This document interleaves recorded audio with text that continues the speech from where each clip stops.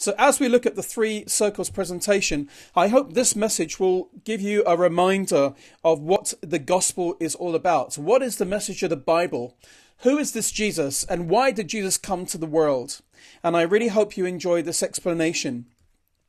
You see, my friends, we live in a world that's characterized by brokenness. We don't have to look very far um, and we don't have to look very hard to see that there are things in the world like disease and disaster and destruction. There's a lot of pain in the world. Um, but our brokenness was not God's original design. God has a perfect design for all of us. And we can see evidence of God's perfect design. For example, when we see the beauty of a newborn baby what a beautiful miracle. What perfection. You can see God's perfect design in a baby. You can see God's perfect design in an incredible sunrise or an incredible sunset. But the reason why we've ended up in brokenness is because of what the Bible calls sin. Each of us, we've walked away from God's perfect design. We've walked away from it. And we've now started to pursue our own way in life. And that leads to brokenness. We're leaving God's perfect plan and we're now going towards brokenness. And brokenness eventually leads to death. And death will be a separation, an eternal separation from us from God. Now, God, He loves us very, very much. He created you and me. He loves you so much. And He does not want us to stay in brokenness. And so He provided a way out through His Son Jesus. You see, because God is so amazing, God was able to um, create uh, him, Himself in the form of a human being through a virgin. You see, what do we know about Jesus? Jesus is fully God, and yet he became fully man in order to enter into our brokenness. So he came down to earth. He came into our brokenness. He became fully man. But in God's nature, he was able to live a perfect life. And that's because he is God. And it's here that God took our place on the cross. He died a cruel, painful death on a cross. He died a death of shame because all of our sin, it's shameful. And so it had to be paid with a perfect life. So Jesus was the sacrificial lamb that came to die on the cross. He didn't only die, he was abandoned as well. He had to be fully abandoned by God the Father in heaven so that he could take all of the punishment for all of the sin of all of the world on his body. And after three days, because Jesus was not only a man, because Jesus was also God, he was raised up to life after three days. He rose from the dead, and today Jesus is alive. Now, in doing this, God has made a way for us out of brokenness because we can go to Jesus now and our life can be restored. Now, in the world today, in different countries, in all the countries where we come from as a group, people try many things to get out of brokenness. You know, people try things like religion. They try things like different religions and philosophies and practices. Maybe they're born in a religion and that's why they believe what they believe. So they continue to do those things. But with these religions, they cannot escape brokenness. People try success. People try doing well with their education, with relationships. People try careers, good jobs. But none of these, these things get us out of brokenness. Many people, they try bad things like drugs and smoke and alcohol. But none of these things can get us out of brokenness. But Jesus told us that if we do three things, we can get out of brokenness. Number one, we need to believe that Jesus is God, but he became fully man. and that he died and rose again for you and for me. It was the biggest gift God could give us. The second thing we need to do is to turn away from the bad things we do and say sorry to Jesus. There are things that we do like we lie, we steal, we hate. The Bible says if you've hated somebody in your heart, it's the same thing as murdering them in your heart.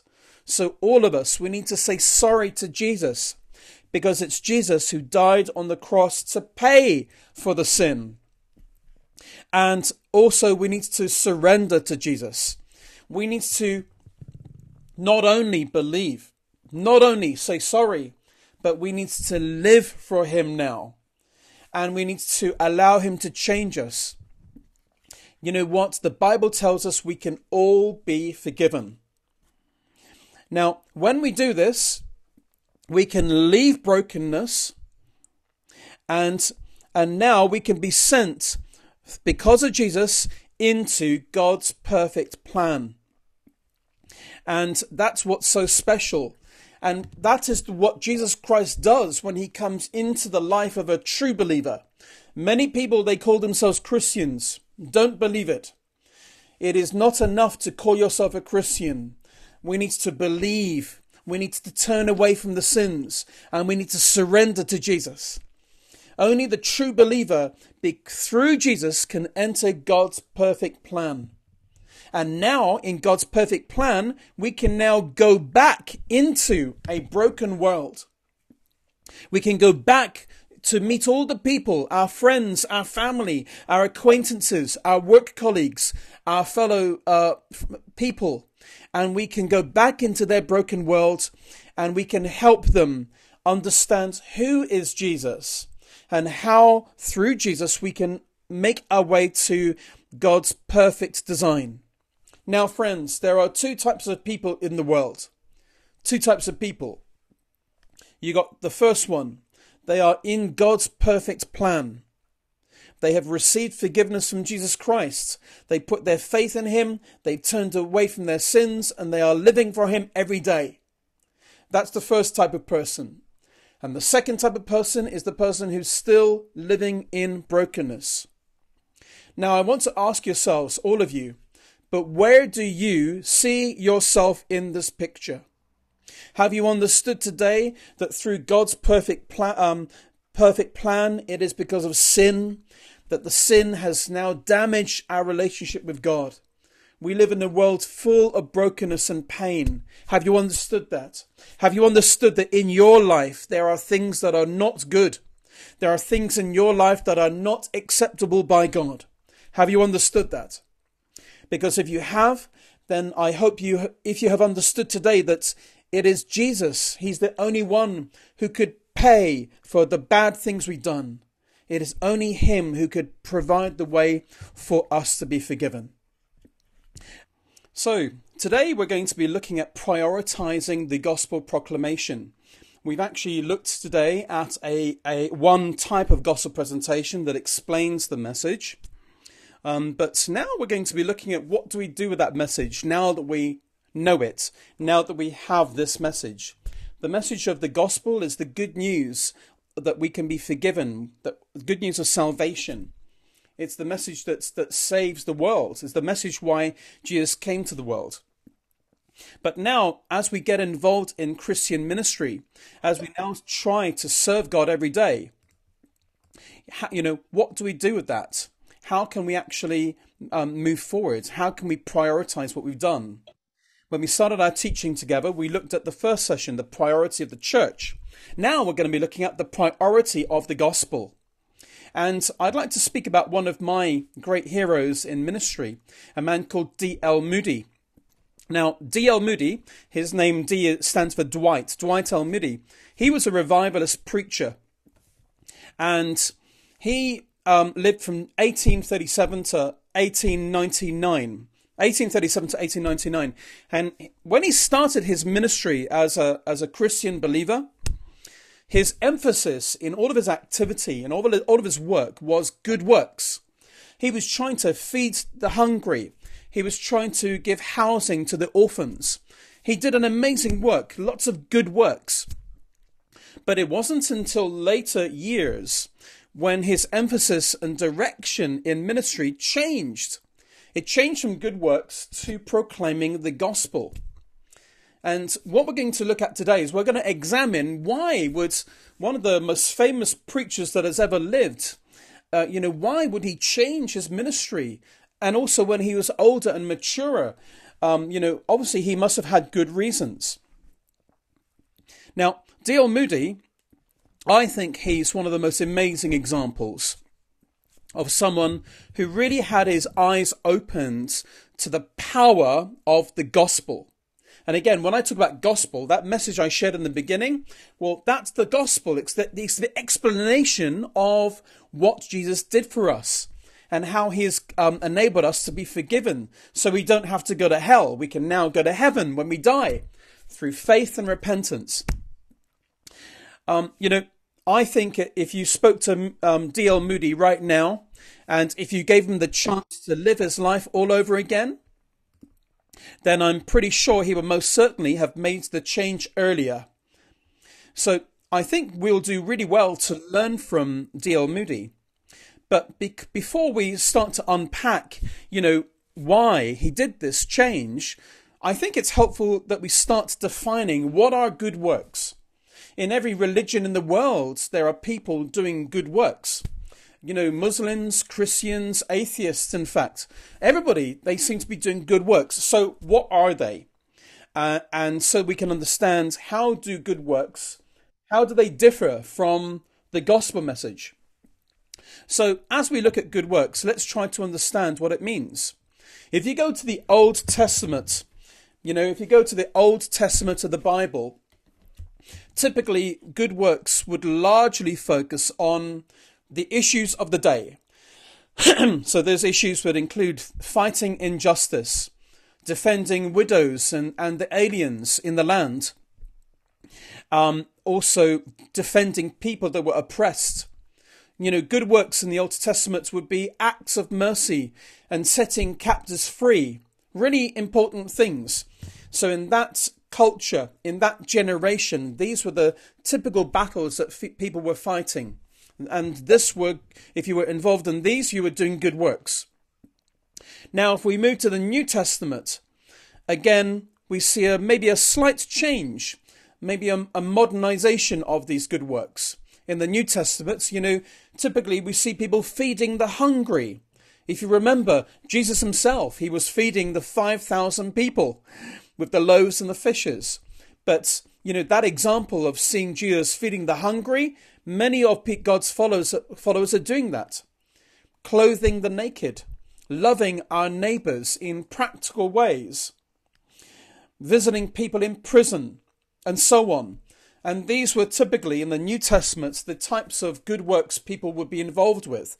And the list is not exhaustive. There's more, of course. Now, in today's world, in our postmodern world that we live in, good works, they, they include all of those things I've mentioned already, but so much more. You know, making friends with the unchurched, building medical clinics, handing out food parcels, setting up food shelters, you know, um, counseling centers, you know, arranging group for groups that focus on reaching prostitutes or reaching drug addicts, um, you know, children's and parent groups, rehabilitation centers, helping the homeless, homeless shelters, and so on. You know, um, you name it. But in today's church, we have developed a heart for these works. And, you know, and, and so it should be. I think it's amazing that, you know, today Christians should be doing all of these things. I mean, after all, in the in the New Testament, it's James who said, "Faith without works, it's dead." Faith without works is dead. And so it's actually good that all the good works are happening. It's very good. And we mustn't stop. We must continue. Continue doing good works, of course. Um, and I want to encourage you I mean, Christianity without good works would be a contradiction. It would be a complete contradiction. If you're going to call yourself a Christian, surely there should be evidence, and people can see the evidence through the good things that are being done. That's why we got to do them. And anyway, the Apostle Paul, he went as far as to say, you know, if you're a Christian, then prove it. He said in Acts 26, verse 20, I preached that they should repent and turn to God and prove their repentance by their deeds. So right there, I think that's very, very important that we see that, you know, even the apostle Paul is, is saying this. Um, now, it's interesting, but in today's church, in the world today, um, there's a very, very strong emphasis and a strong trend towards doing good works as a way of wooing the lost and also giving credibility to our message. We do good works and it backs up what we're saying. and it's also important that the church is emphasizing on, on expressing genuine love for people and for God. But my question to you today is, you know, are good works, you know, are good works the best way? Are they the best way to win the world? Are they?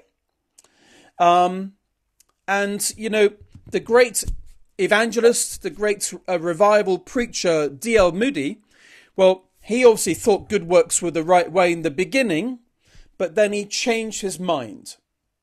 Why is that? Why did D.L. Moody change his mind? And so, um, you know, I think it's amazing that, you know, you know, uh, he changed his mind and it changed his emphasis, it changed his direction to proclaiming the gospel. Now, please keep in mind, you know, God so mightily used D.L. Moody. Not only, you know, he, he, he could actually choose any city he wanted to, to hold his campaigns, to, to reach people.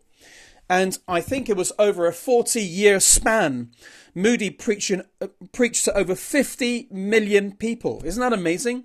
50 million. Such a lot of people. At the end of the 19th century, there were religious leaders um, of every American city. They were so eager to have him come along to preach in their city. And uh, some people, they even they built big arenas for D.L. Moody to be able to come along to preach. Now, um, in his early years, he had combined proclaiming the gospel with acts to relieve poverty, all the good works I spoke about. But later, he, he, his emphasis changed. It concentrated on proclaiming the gospel. He would just be preaching the gospel. Yes, his ministry would be involved in acts of charity, but his new emphasis was proclaiming the gospel he became convinced that the best way to help poor people was to lead them to Christ first, to seek first his kingdom and his righteousness first, and all these things will be added unto you. And when he changed his emphasis, well, his success was dramatically increased. Now, I like to share with you what did D.L. Moody understand from Scripture. That's what we're going to look at today. Only four points. And I think if you can remember these four points, I think you're going to find it beneficial in your life as a believer and as you're trying to serve God and live for God.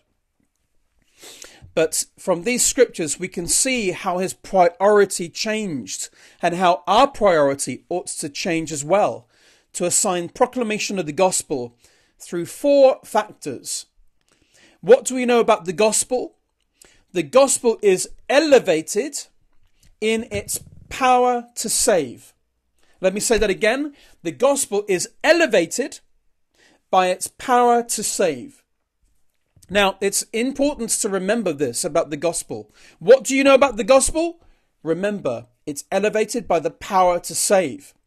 We read in Romans chapter 1 verse 16, Paul said, For I am not ashamed of the gospel, for it is the power of God that brings salvation to everyone who believes. And he goes on to say first the Jew and then to the Gentile, the Jews and the non Jews, everybody. So there's power. So here you can see the gospel is given a special status. There are many, many messages, but the gospel, it has a now a special status. Um, it, it, it has a particular power that's given by God to save a person, to change him from whatever religion, whatever situation, to move them from death to life. You know, Paul could have said prayer. Prayer is the power of God for salvation, but he didn't. Paul could have said worship. Worship is the power of God. He didn't. He could have said good works is the power of God.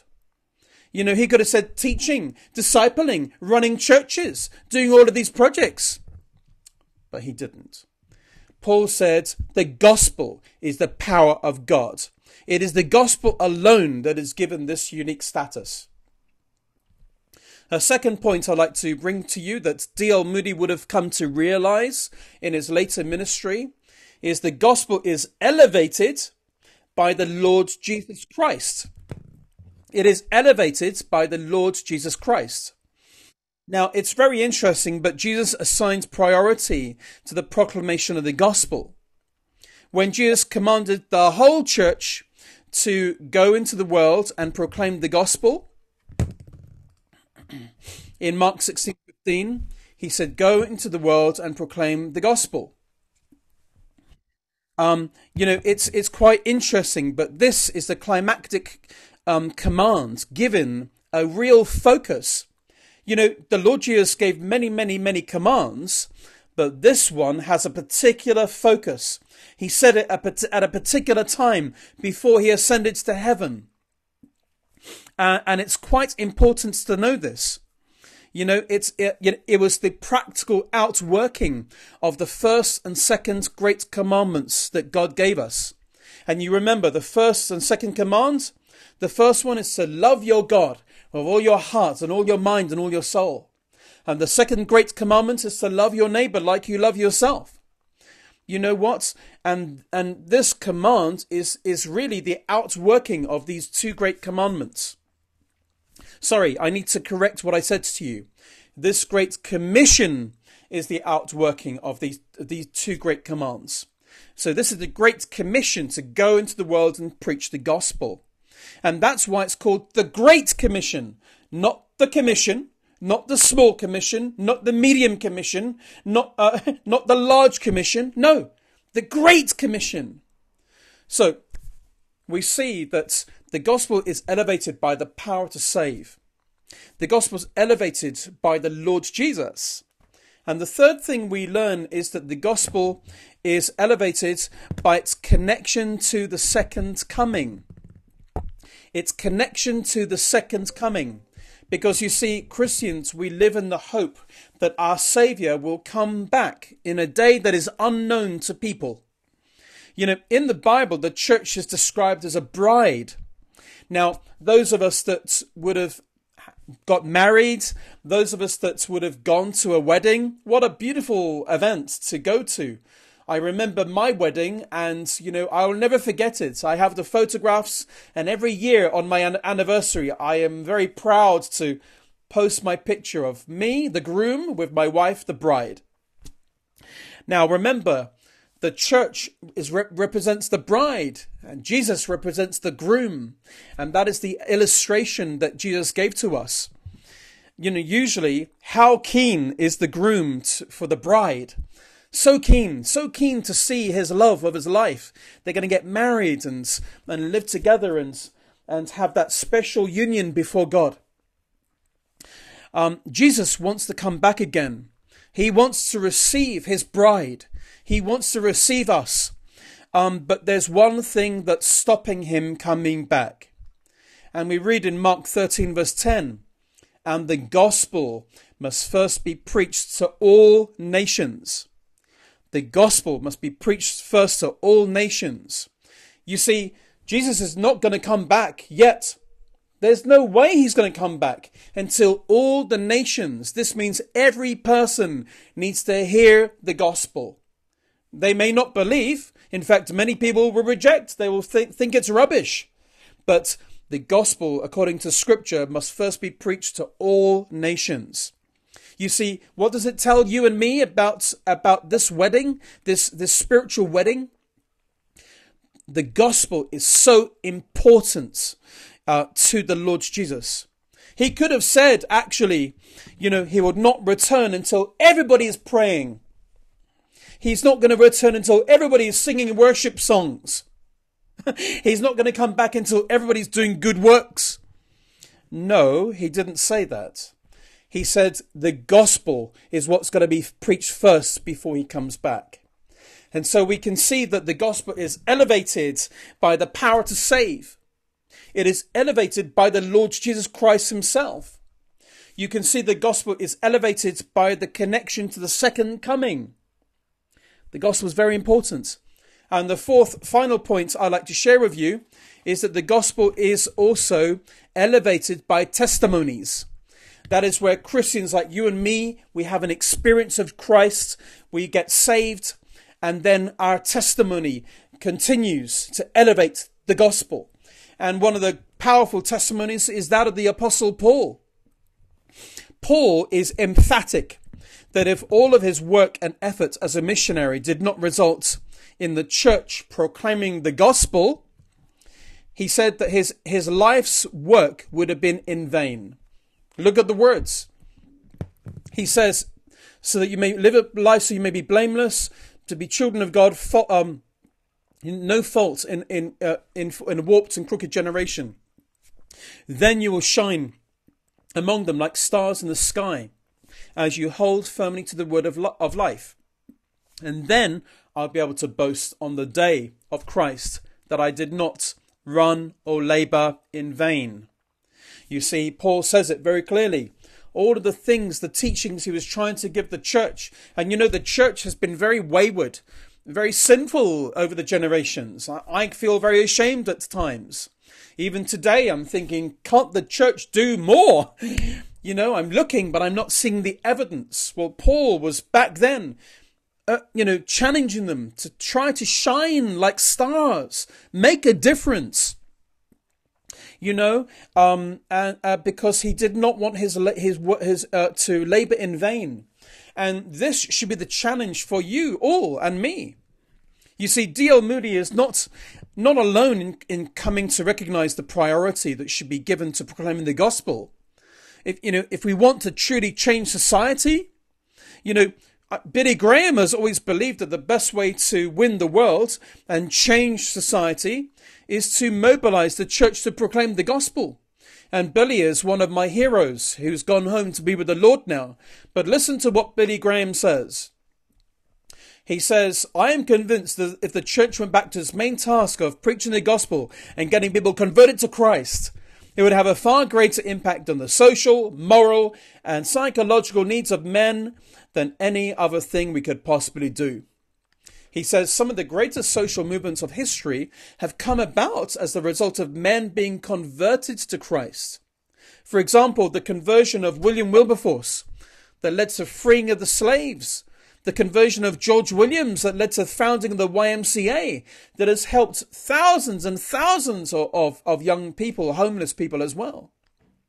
Scores of current and up to date illustrations could be used. We've made the mistake of putting the cart before the horse. We're exhorting men to love each other before they have the capacity to love each other. And this capacity can only come through a personal relationship with Jesus Christ. And I think Billy Graham is so right. You know, please don't misunderstand me now today. you know, prayer and intercession and worship and good works. Yes, they're lovely. Don't stop doing them. They play a vital aspect to the Christian life and service, and we need to do them vigorously. Amen. But come on, my friends we must give each of them the same emphasis found in the New Testament. That is the emphasis that we need to give them. No more, no less. And so I wonder, you know, could it be that churches today and Christians today, we, maybe we've become imbalanced? Maybe we're doing too much of the wrong thing and, you know, we're getting very confused. Remember, the balance needs to be words and works together. They gotta go together, my friends. And so that's why really right now I just want to just, you know, challenge you to, to remember that. Do the good works, Um, but please do not neglect to do the words of the gospel as we've been commanded by Jesus. So many Christians don't share the gospel. Why? We need to share the message.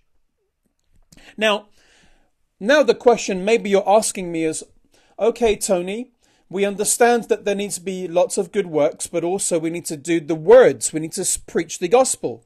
Words and works together. But on what authority do we get this? Is Tony now sharing his personal opinion? What authority do we have for this teaching?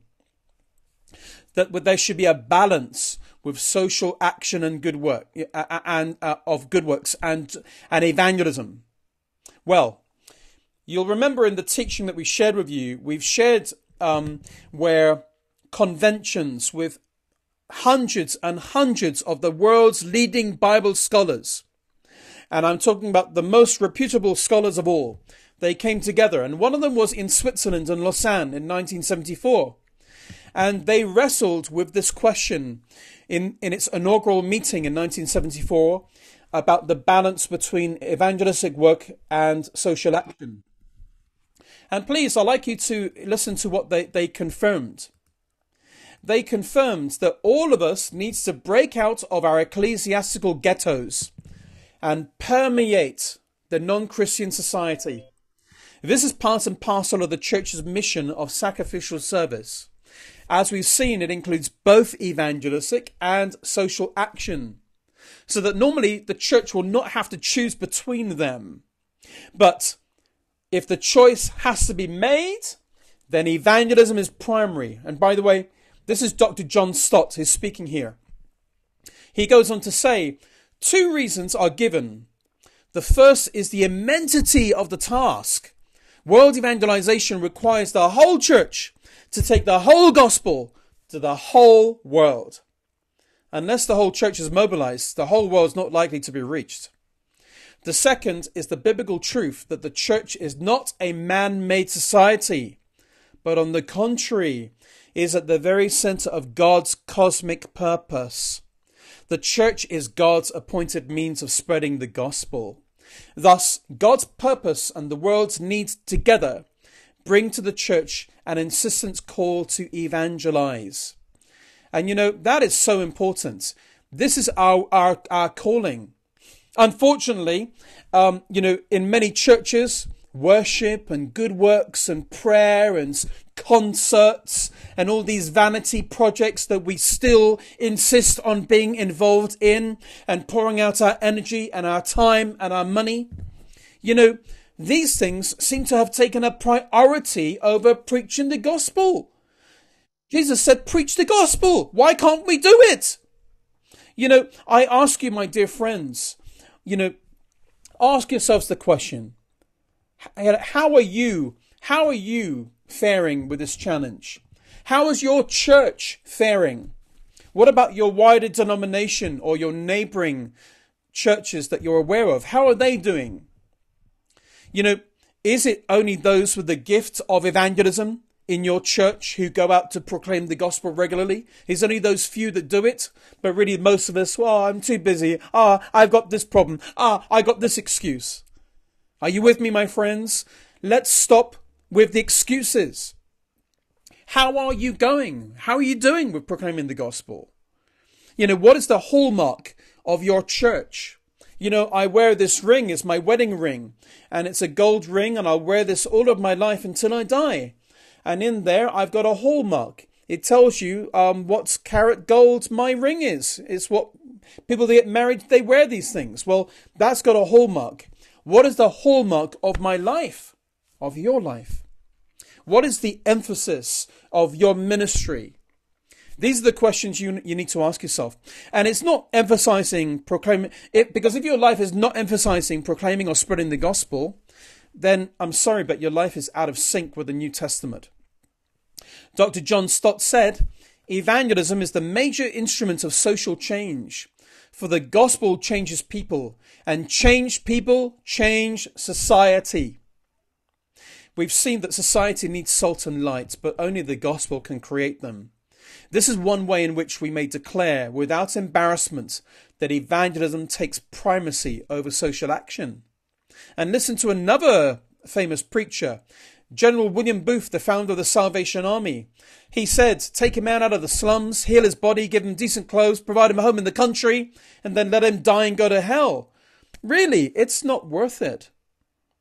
You see, my friends, both of these people, both of these amazing preachers, they clearly recognized the limitation of good works. Don't stop doing good works. It's, it's part of the evidence of your Christianity. But what these famous preachers and D.L. Moody came to understand is that the greatest priority is souls. It's souls. It's souls. It's souls. It's souls. It's souls.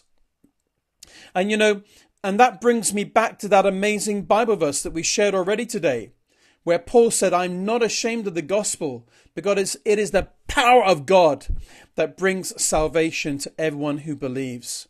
Oh, it really is the power of God. Amen. And really, in finishing, I want to ask you, can you please imagine with me today? Can you imagine? Can you imagine a church or a Christian person building relationships? Can you imagine a church that's doing good works? Can you imagine a, a church that's showing God's love, that's prayer focused, worshipping, teaching, discipling, and proclaiming the gospel? Can you imagine a church like that? Because that is a powerful church. Now let us pray. Dear Lord Jesus, we love you very much indeed, and we thank you so much for this day that you've made. And I just want to thank you so much, Lord, for the gospel.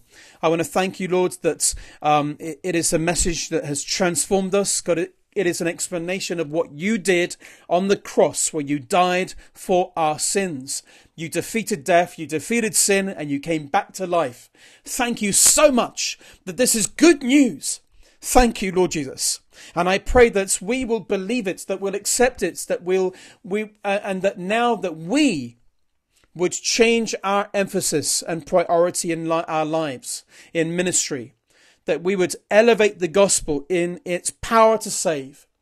That, Lord, that we would elevate the gospel because of you, because of who you are and what you've done.